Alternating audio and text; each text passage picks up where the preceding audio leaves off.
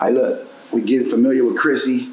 It's the flock boy himself, the grown crip, the right one. You know what I'm saying? Roadie Rose. I tap in.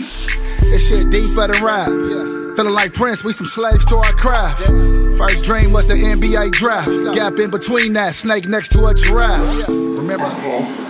Well, we are back. um, you know, we had some. all we can really do is laugh about it. Right. We just had some technical difficulties the first time, Yeah. but um, what you said, we're gonna come back better, Yeah. stronger. Exactly. Exactly. But um, so we're gonna call this part two. Yeah. We're just gonna call it part two, for sure. What's up? How you doing? I'm good, man. Great. Uh, Good, good. For those that you that don't know, this is Roadie Rose. By the way, he's on Get Familiar.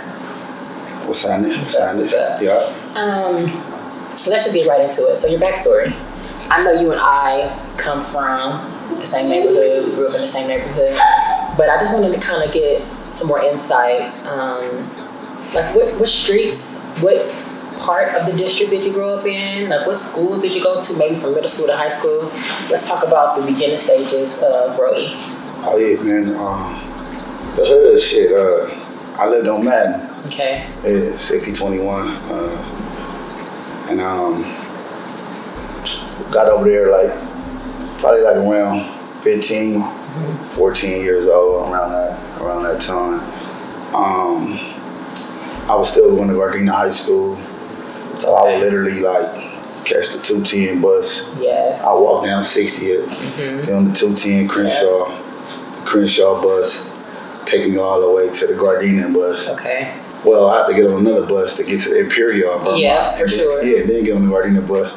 You know what I'm saying? So in high school, I was still in the hood, and I was still going to Gardena High School and shit. So um, So you was already enrolled at Gardena when you moved over there off of Madden? yeah, I was already enrolled. Yeah. Okay. I was already enrolled already. You know what I'm saying? But um, you know, older cousins and shit from from the district, from the hood. You feel me? Um, so I was already, you know what I'm saying, destined, you know, to go that way.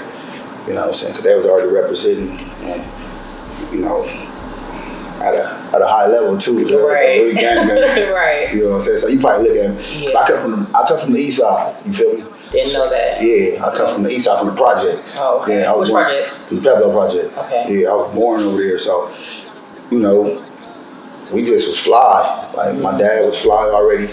You feel me? So you look at it and you be like, all right, nah, cousin ain't really. And he got over here a little later, Mm-hmm. but on, on the inside, it's really like, you know what I'm saying? So your upbringing was your mom and your dad in the household? Nah, just my mom. Just your mom. They was already separated. You Okay. feel me? Yeah. But you had a good relationship with your dad. Oh yeah, up top. Yeah, yeah, Okay. yeah, That's important. yeah. Yeah. So living with mom, dad was in another household. You are you coming from the? No, you're coming from. Actually- coming from the projects to Madden. Actually, you're no, at Gardena. No, no, no. It wasn't the projects to Madden, but it was. It was like I basically like slowly migrated from the east side to the west. Got it. The first job, it was my. It was like it was a, a family owned house mm-hmm. that was in the Hoovers. Got it. Yeah, it was on seventy seven. You know what I'm saying? So I was a kid like seven at that time. You know what I mean? Like? Like no, I was like 9 mm-hmm. I was around nine. So you know we nine years old. My daddy fast life, drugs. You know, uh, big cars, big jewelry. You know what I'm saying? And I always thought, you know, because I walked to the store and I see Hoover on the wall. I always thought he was from Hoover. Oh, Yeah. yeah. You know what I'm saying? So it was like, I, you know, growing up and then got a little older and shit, you know. And then, uh, shit, I was like, all right, found my daddy was really a blood, you know what I'm saying? So it was like, damn, crazy. So what was like? Okay, so your daddy a blood. So how did he feel or take you being a crip? Oh, it was like, you know, like I said, it was stages. Yeah. It was stages first. Like I come from a different generation. Yeah. That's kind of like, you know, Bloods are Bloods and Crips are Crips. right, So, yeah. yeah. So it was kind of stages and shit like, uh, clicks, mm-hmm. fucking with the certain clicks first. Yeah. You know what I mean? Um, reason why I didn't get put on 60s when I was staying over there is because I was in level basketball. You feel me? Mm, okay. You know, I still had basketball dreams. You feel me? So I'm like, hold on, like you know, mm-hmm. when I step outside, like I step outside. So you were playing basketball at Gardena? I play, yeah. What position you play? I play the shooting guard too. Okay. Yeah, I play the two. Okay. Yeah, but I got cut. How tall are you? Were you even tall enough for two? I'm five eleven. Oh, okay. Yeah, I'm five right, I guess. Yeah. But I was shorter though. I guess. Yeah. Right back then. It's high school. Yeah. Everybody was. Yeah, that's true. Yeah, it's high school. Yeah. Niggas too short for their Yeah, position. that's- that's true. That's the center ain't the center of the forward. That's true. The, you know what I'm saying? The point guard don't supposed to be on the team at all. That's He- true. He's too short. You know No, what I you- Nobody's point. their nobody's their real height. No, you have a point. you know what I'm saying? Nah, but um, so when I step outside over there in the hood, you know what I'm saying? I go play basketball in the in the village. You feel me? In the Dorset village. You feel Yeah. me? Um, they had a little basketball court over there, and me and my homie, you know, Kung Fu, we just go over there, you know, play basketball. So I was looking for the ballers, you know, and I tell my son that today, like always, like, you know, look, if your mom ain't able to take you there, then surround yourself around the ballers. You know what I'm saying? You want to play basketball, you know what I'm saying? So mom probably gotta go to work Yeah. and, and do all that. So let's make sure, you know what I'm saying, you follow your dream. Yes, you go stick with- absolutely. So when I was in the hood, that's what I go do. You feel me? Yeah. I go, listen, the basketball court at? Mm-hmm. You know, and homie telling me it was in the field. You know what I'm saying? So yeah. I went over to the field to go play basketball. You know what I'm saying? Like, so that's why I was really, I was still in love, you know, with that, you know, basketball at the time. You know, when, when you know, a lot of homeboys was already on 10th Ave and, you know, Brian, wherever they was at, they was already there. You know what I mean? And I'm right there. You know what I mean? They don't even know. I'm just, you know what I'm saying? Mm-hmm. Yeah. I'm with the baller, so. So at what point did you? I mean, if you're open to say, like, what point did you actually officially like join?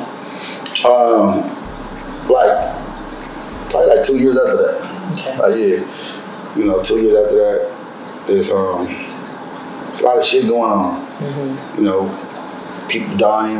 You know, people in my family getting killed. You know what I'm saying? And, And that was a scapegoat for you. yeah, and then and then and then getting cut. You know, from basketball. From basketball. you know what I'm saying? Like, Right. yeah, like, it, it wasn't nothing else to do. Yeah. You know what I'm saying? It wasn't no more.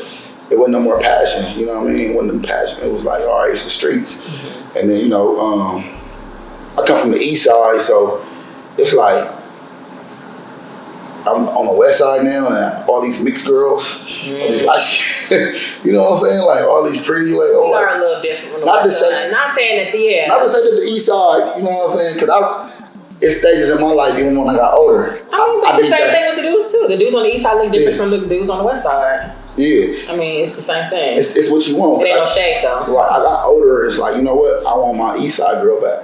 You know what I'm saying? Now I'm at this point. I'm like, hold on. I want, Watch your little around edges. yeah, I mean, it's like I just I'm not with the too much pop, you know, sugar coating Yes. and all what that, mean? all that shit, man. Some of them are like that. Not all of us. what, with the West side girls.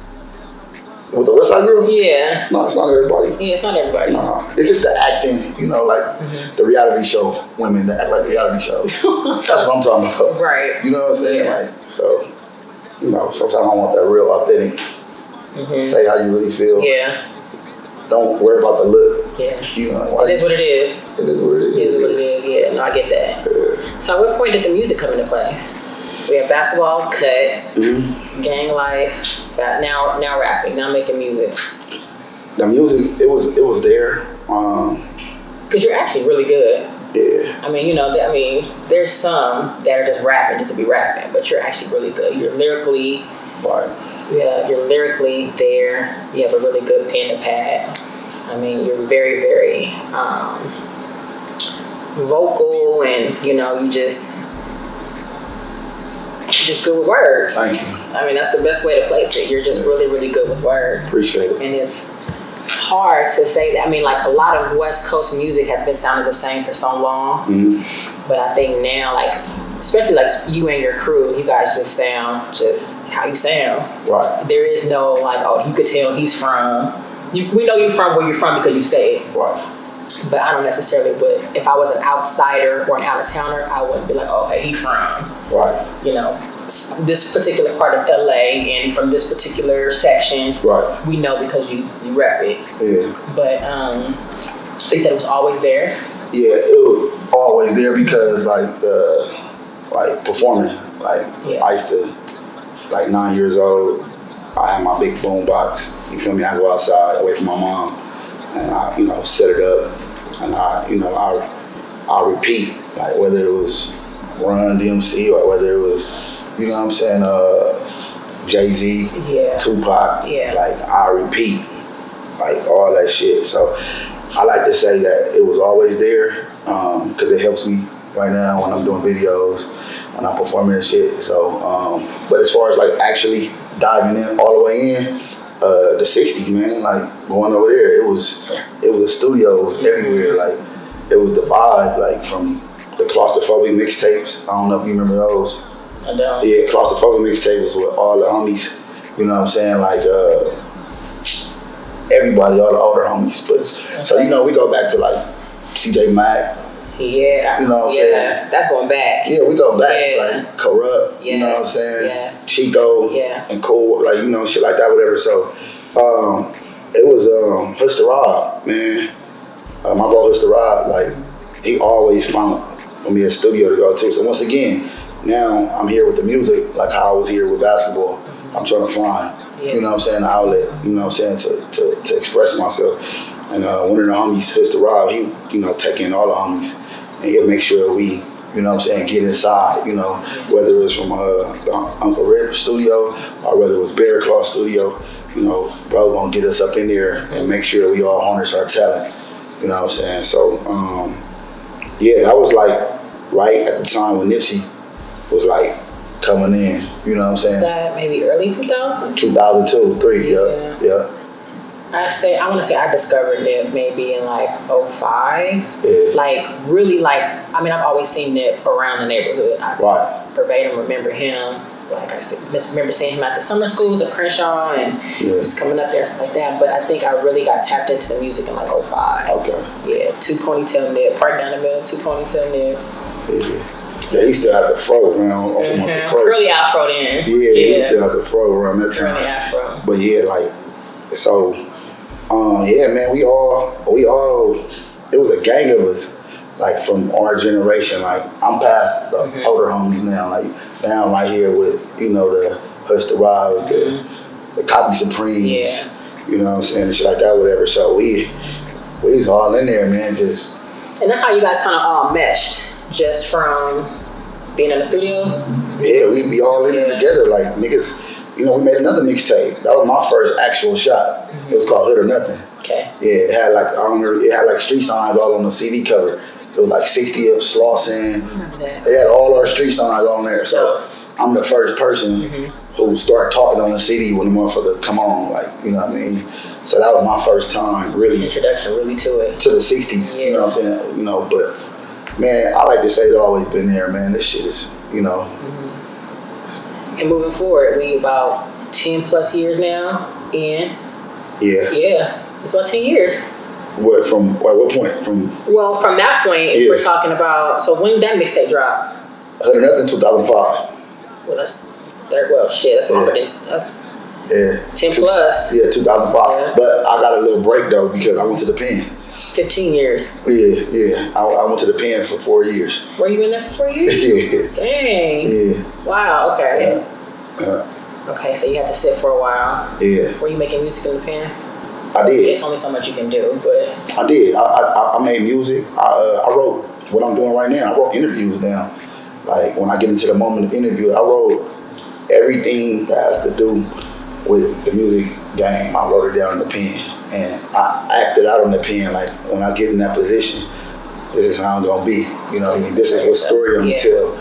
You know what I mean? So I did everything. Like, and more importantly though, in the pen, I retrospect like you know my life and you know, um, I like to say, if I got a camera on myself and my kids can watch me utilizing my time, what would I be looking like to my kids?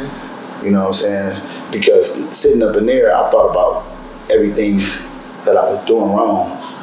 You know what I mean? Uh, basically, not having no purpose. Yeah. You know what I'm saying? So Yeah. he's just doing everything, you know, and it, nothing means nothing. Absolutely. Like you can go to the club and go spend 20 bands and you don't even have a paper trail Yep. to nothing. But if you own the business yes. and you go to the club and you go spend 20 bands, then at least somebody's gonna write about your business and say, you know what, you know what I mean? And it's like a tax write-off. It means something like so.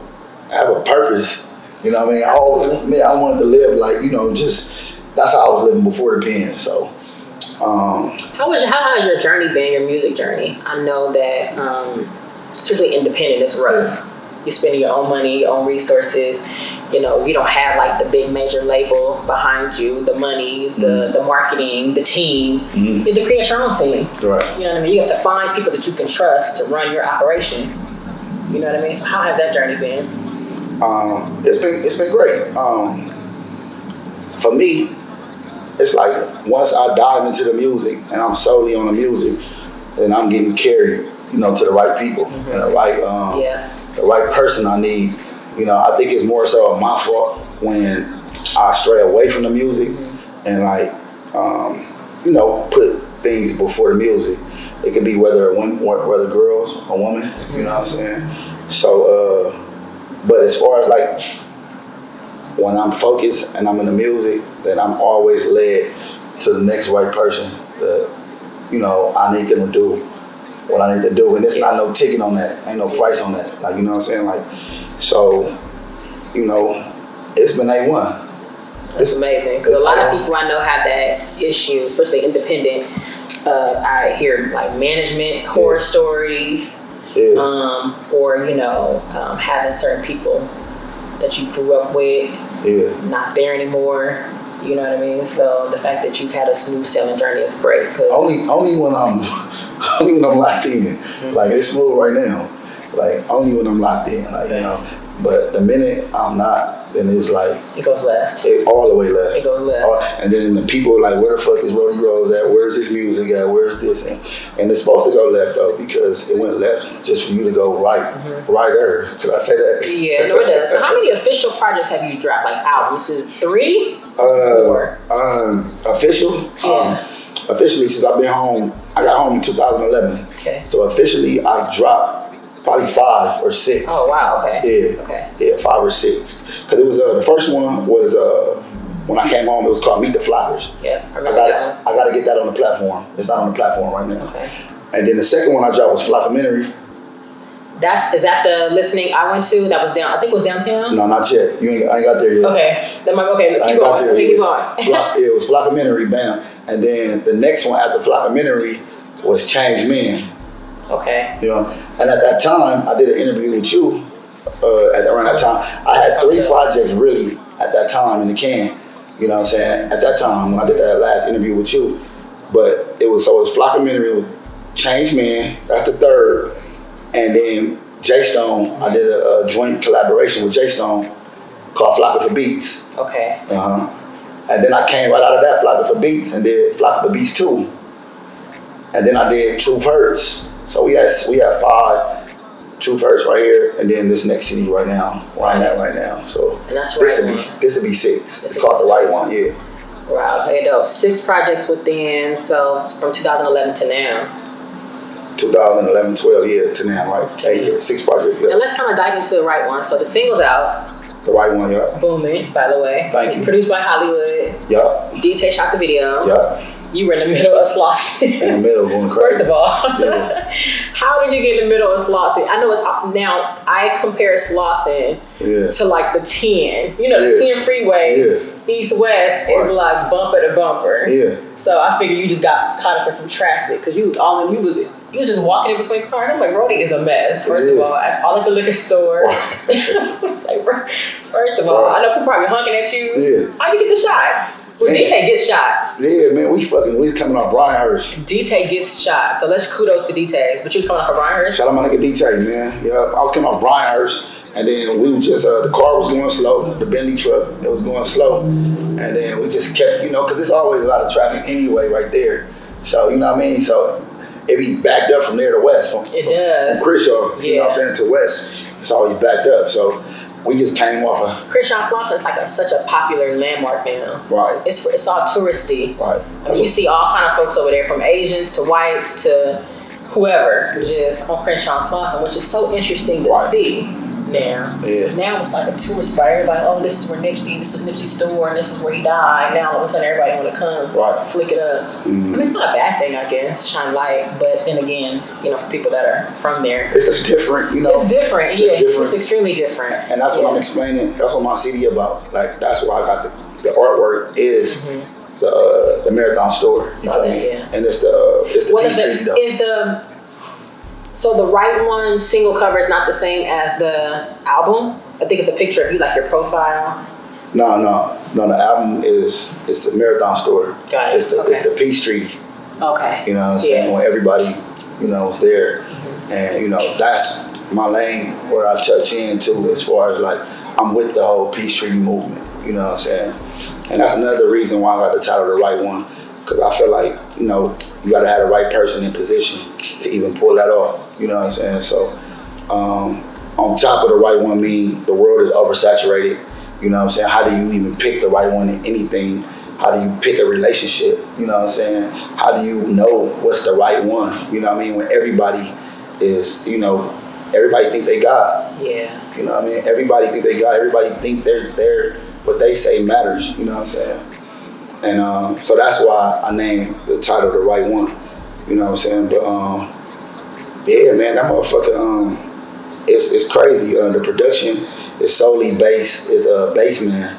His name Dominique. Okay. Yeah, um, So you have one producer pretty much the entire. pretty much. But and then I got uh, Hollywood Mm-hmm. with the single, the right one. I got uh, my boy uh, B12 the Hitman. Okay. That's a song with me and Killer Twan. And who else on the uh, the right one? Another. Are you shooting a video with Killer Twan? Yeah, I'm gonna shoot a video of me and Killer Twan. Yeah. Yeah. Okay. Yeah, I'm gonna shoot a video of that one. Um, and like I said, man, the CD is it's like you can't compare one song to the next Okay. because each song for hip hop, I covered each genre of a hip hop record. Meaning you only got one female record. Meaning you got one record where I'm spazzing, going crazy. Meaning you got one record that's far fetched, like some mm. Kendrick Lamar shit. Right. You know what I'm saying? And it's ten records, and you can't compare one to the next. Well, you say this is probably the biggest range album, like when people can really hear your range as far as just as you described. Like you're gonna get a little bit of every element of hip hop. Yeah. album. Yeah, yeah, Shows like what you're really capable of. Like, Absolutely. I got this way, I got this way. The beat is here, now the beat is here. absolutely. Yeah, you're gonna hit different elements. There you go. Yeah. Yeah. So Yeah. definitely looking forward to that. Um, I know last time we spoke, you were like, "I got ten more years in this musically." Yeah, You, you were Yeah. very, you were very confident. Like I don't know how old you are, Yeah. but uh, are you telling me your age? uh, I, I, I, I do, and We I ain't, don't. we ain't gotta talk about that. I do and I don't. You know what I'm saying? But I uh, mean, you're. I'm sure. I'm older than that. Yeah, I'm older than that. Okay. Yeah, you feel me? But I give you an idea. Yeah, I'm older than that. So, um, like I said, I got, I got 10 more years uh, because I, um, I had a whole career on the streets. You know what I'm saying? So, by me having a whole career, meaning I was 30 on it. I was, Mhm. before I took this shit serious, I was 30 on the streets. You know what I'm saying? And it kind of reminded me of a, of a, of a Jay Z story where, you know, Jigga was an old nigga on the street, Yeah, he was. And he did a lot of different things, and he was a successful street nigga. Yeah. So I was a successful street nigga, you know what I'm saying? And I could really tap into stories from right there, Mm-hmm. uh, gang of stories from there. This CD right here, I'm tapping in on 2020. So the right Mm-hmm. What a year, golly! Yeah, yeah, What a year. yeah, Started off with Kobe. yeah, Um, then COVID, of course. yeah, We had a whole Black Lives Matter movement.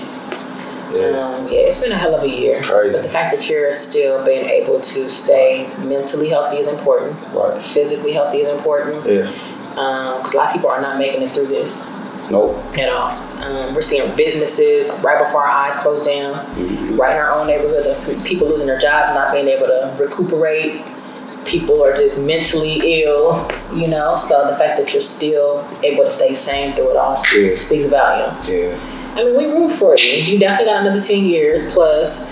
Very excited to hear the album. Yeah. You haven't been listening. Yeah. Yeah. Yeah. I will be there. yeah. I will be there. 10, 10 plus. 10 plus. GTI is gonna be artist. from GTI. Y'all gonna see soon. I ain't gonna speak on that too much, but um, I'm gonna go down south. I'm gonna touch here. You feel me? Um, it's the takeover. It's starting right now.